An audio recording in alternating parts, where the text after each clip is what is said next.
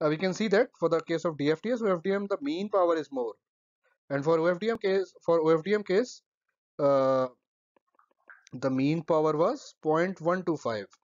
And yeah, because the average power is more, hence PAPR is lesser. So few days back, I was reading something about DFTS OFDM. Uh, and I got this question that how exactly the subcarriers are mapped in DFTS OFDM and also how exactly the PAPR reduction uh, is achieved in DFTS OFDM. So in this video, I'll try to focus and answer uh, these two questions. OFDM has many advantages as we all know, but few disadvantages also. One of them is high PAPR, which is peak to average power ratio. And there are multiple advantages of having low PAPR. Like low PAPR allows power amplifier to operate with less nonlinear distortion at the same output backoff. Like if I have uh, lower PAPR value, then uh, I can keep output backoff same, but because the PAPR is low, in that case, the peak power uh, will not go to the saturation region every time. Hmm. Other than that, low PAPR signals can exploit more power efficient PA operating point. So it increases power efficiency actually. And also low PAPR signal can operate PA at higher average power at the same distortion level. Okay, because if the PAPR is low, then instead of operating my PA here, I can actually operate my PA at a higher power because in that case, the probability of going into the saturation region will be lesser because the PAPR is lesser. So this actually improves cell edge performance. Why? Because I can actually operate my PA at the higher power. Now let's understand the DFTS OFDM transmitter chain which will be important to understand if we want to understand more on the D, uh, DFTS side. Uh, you can also look in uh, if you want to understand in more detail the fundamentals of the DFTS OFDM. You can uh, watch my previous video, which I will uh, give a link in the description, and also you can click the I button. So I will go. Um, I, I will try to summarize here the changes. So one change is having an extra DFT block and another change is having a subcarrier allocation block. So DFT, uh, like if the if for OFDM, uh, the IFFT we are taking of M point, then in DFT DFTS OFDM we first take a K point DFT, and usually to get the PAPR reduction, we keep K to be less than M, which is actually the basic fundamental or the basic funda of DFTS OFDM. And after that, we do some subcarrier allocation on the k subcarriers.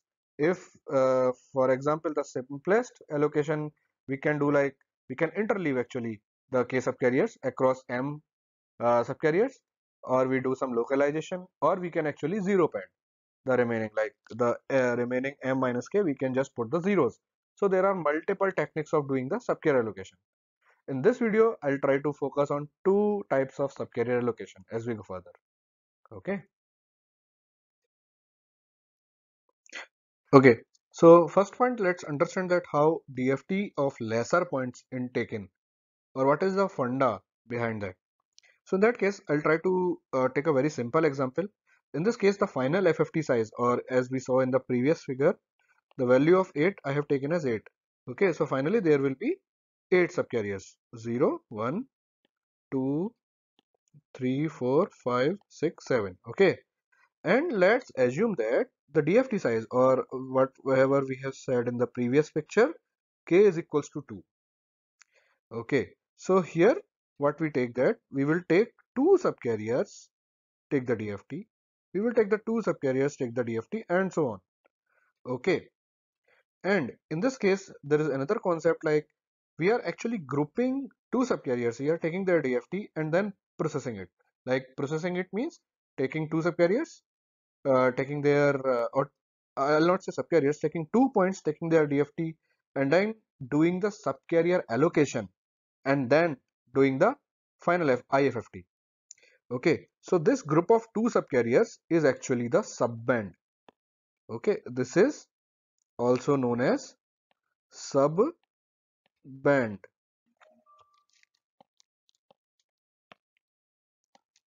Okay, So uh, usually this is specified uh, when we are implementing a system. This is specified that how many subbands are there or what is the subband size. So in that way, if uh, one of the parameter is given and the final we know what is the value of m or what is the value of the final FFT IFFT size, then we can actually calculate the DFT size, DFTS, DFT size. Yes. Okay. Yeah. And now we will look into uh, how the subcarrier allocation is done. So there are two types of subcarrier allocation. One is localized, one is distributed or interleaved. Okay, so first let's uh, try to understand the localized case. So in this case, uh, these two um, points or these two set of points are belonging to two different subbands. Okay, so for example, uh, let's try to understand uh, or I'll, I'll try to name them by their colors. Okay, so the first subband or the red subband, uh, we, we take the group of those points, put them collectively then take the blue one put them collectively and so on put the take the green take the magenta one and put them collectively another algorithm or another way to do it is doing the interleaving like take the first point from the red set take the first point from the blue set take the first point from the green set and so on and put them one by one. Okay. So this is the interleaved way or distributed way of doing the subcarrier allocation. Both the algorithms or both the techniques have their merits and demerits and i think uh, in most of the implementation or uh, in, most of the technology localized is the chosen one but uh, as we will see further from the simulation results and from the research uh, results that better PAPR or the lower PAPR is achieved from the interleaved technique if we compare the interleaved and localized techniques okay so lower PAPR is achieved with the interleaved case. Okay, to summarize these two concepts that in the DFTS spreading process n subcarriers are divided into k subbands and all subcarriers in each subband will go through m point DFT. In that case, n is equals to, we know, we can uh, easily now if you have understood this concept, you will understand this equation also. n is equals to k into m. After the DFT on each subband, the n subcarriers will be will be reallocated into a vector, and subcarriers are allocated on one subband by one subband or in an interleaved fashion. Okay, this is to summarize the DFT process and the subcarrier allocation process. Okay, so to see how uh, what will be the PAPR uh, for OFDM and DFTS case, and also in DFTS uh, the comparison of the PAPR between localized case and the interleaved case across the subbands. I had uh, written one MATLAB code and tried to uh, run the simulation and then these are the results. So in this case, on the x-axis are the number of subbands. On the y-axis, it is the PAPR in dB. Okay, in this case, the final IFFT size was 4096.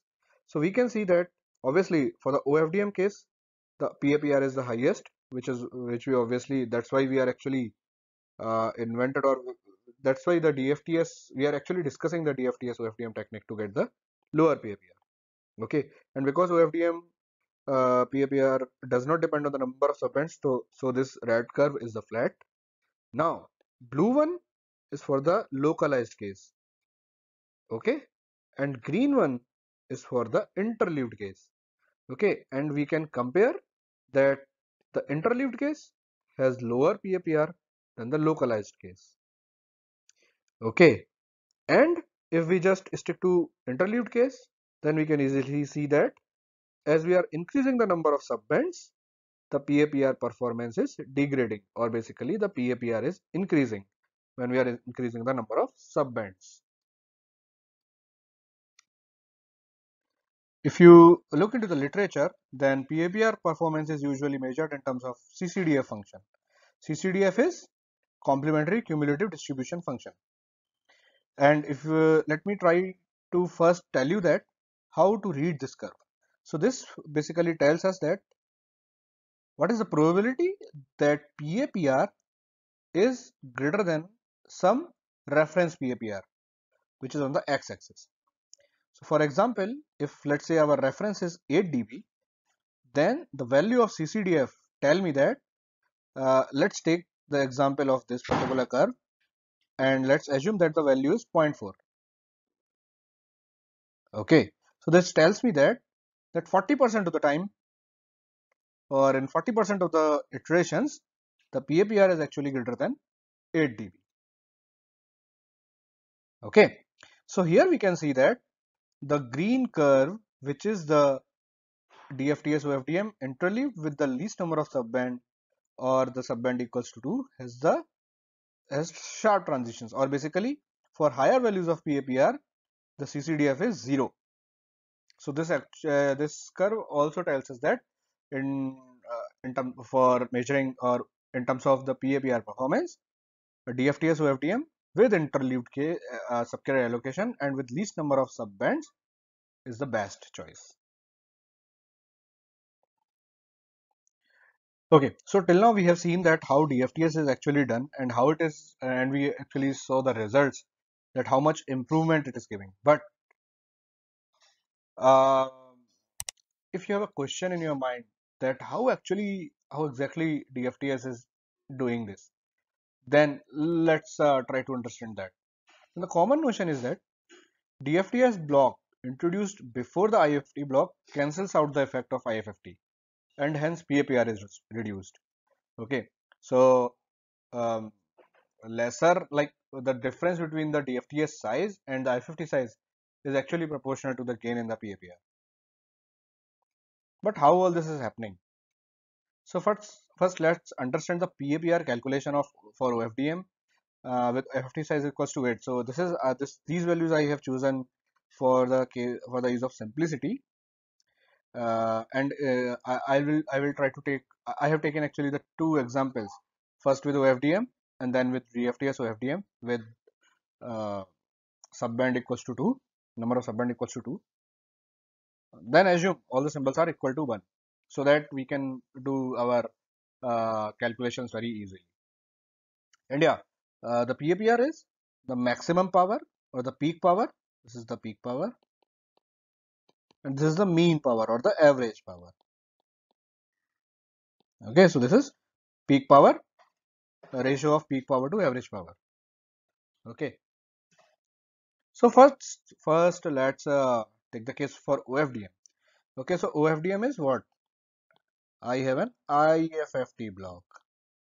Okay at this point these are the frequency domain symbols. At this point these are the time domain symbols. Okay and this is a Parseval's theorem or Parseval's relation which is uh, telling us the power in time domain. This is time domain power and this is the frequency domain power. Fine. So in this case let's uh, try to find out the average power because the examples that I have chosen have the same peak power. Okay.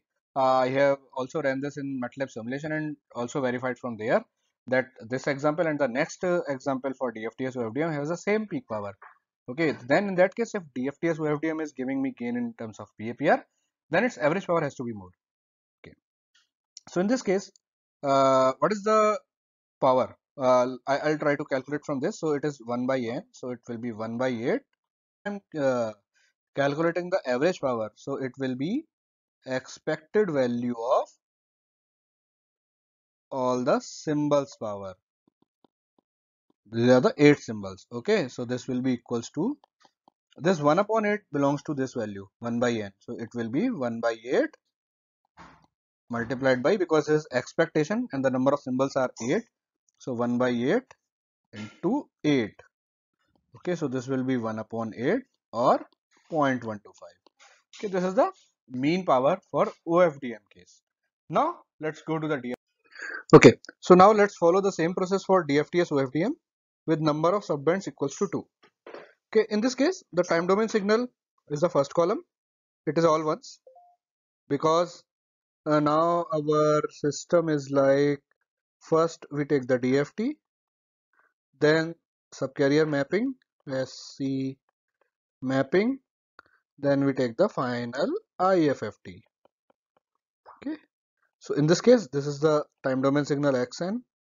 This is the frequency domain signal which is represented by the second column then frequency domain signal let's say x prime k interleaved which is the third column and then the final let's say x prime n the time domain signal which is this one okay so in this case um, what is the so yeah if the number of subbands are two then first we take the four point DFT of these points then a separate DFT which is of four point of this of sorry of these points. Yeah.